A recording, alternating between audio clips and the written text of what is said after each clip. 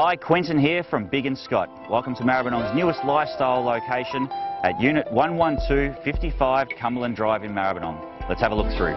Close enough to the CBD to be in a city, yet quiet enough to feel far, far away. Living here will be a dream.